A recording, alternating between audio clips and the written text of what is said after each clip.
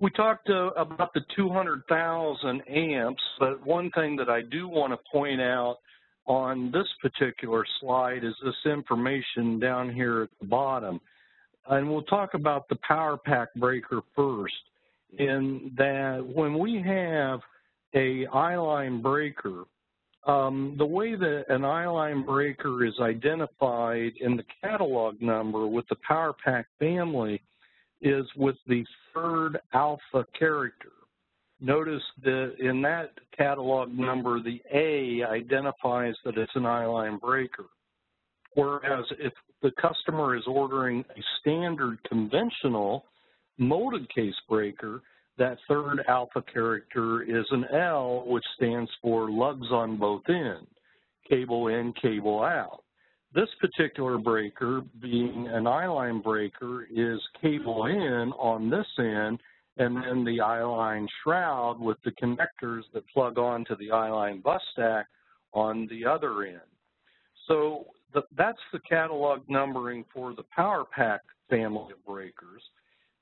If we look at the older legacy breakers, then you can see that we list the FA breakers. By legacy breakers, if you're familiar with the older FA, KA, LA, MA breakers, and you hear a lot of old-time square D people call them Fakalama breakers, F-A-K-A-L-A-M-A.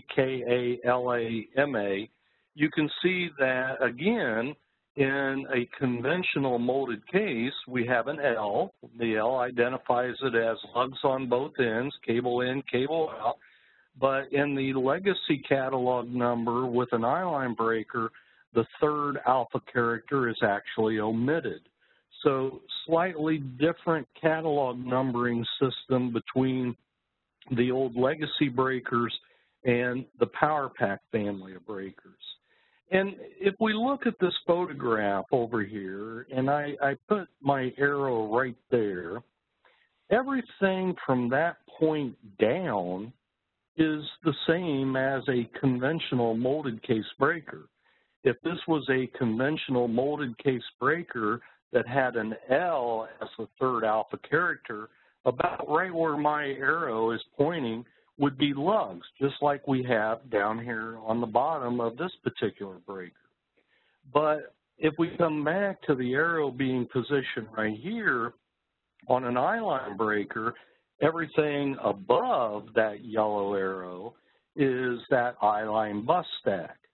So really, the internal mechanisms, the, the overcurrent protection, the operator mech, the trip mechanism, everything internal to the breaker is identical from an I-line to a standard molded case.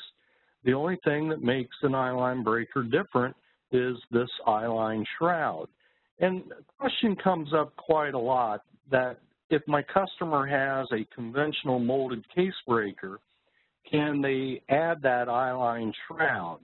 Or if they have an I-line breaker, can they remove that shroud and change it to a conventional molded case breaker? And the answer is no.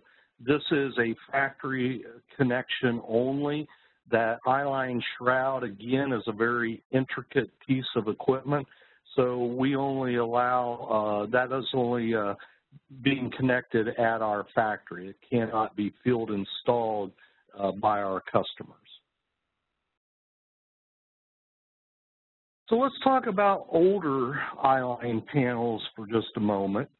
And to kind of give you a history of I-line, I-line was designed in 1964 and it was released in early 1966.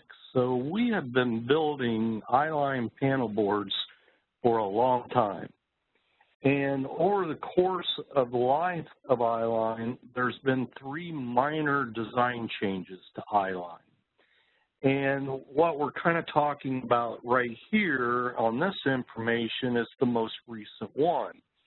When we introduced the Power Pack family of breakers, they were slightly different than the old legacy breakers, and we made some minor design changes to the interiors of the I-line panel board.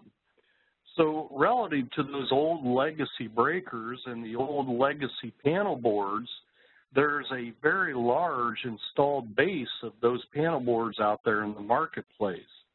And so what this kind of is asking is if my customer has an old I-line panel board with old I-line breakers, can I replace them with new I-line breakers? Will it fit? And the answer is yes, but we need some information.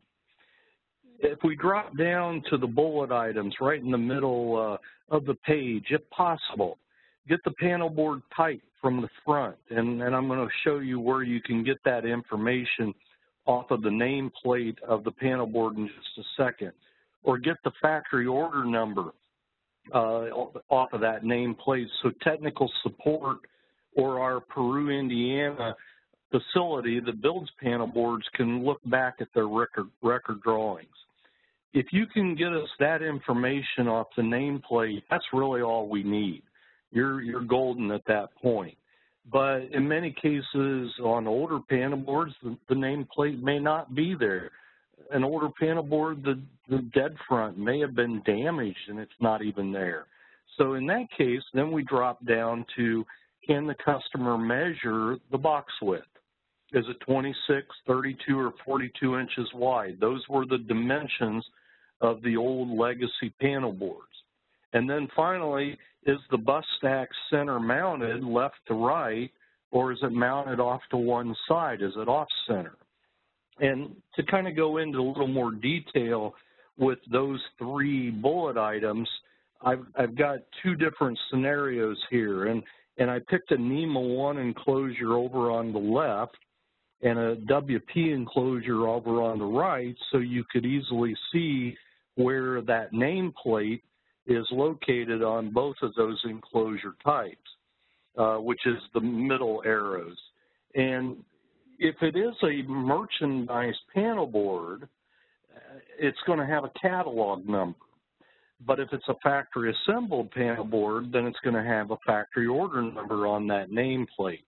If you can get us either one of those pieces of information, that's going to tell us exactly what we need. But if you can also tell us, or you may need to tell us, what's the width down at the very bottom? Is it 26, 32, or 42? And then up at the top, in the top rectangle, it talks about a symmetrical bus stack, which is the photograph on the right-hand side, or is the bus stack off-centered like the photograph on the left-hand side? And, and both of these photographs are with the dead front installed, and the bus stack is behind that one vertical piece that both of those yellow arrows are pointing to. So if you can get us that information, most likely we will be able to replace one of those older I-line breakers with a new I-line breaker.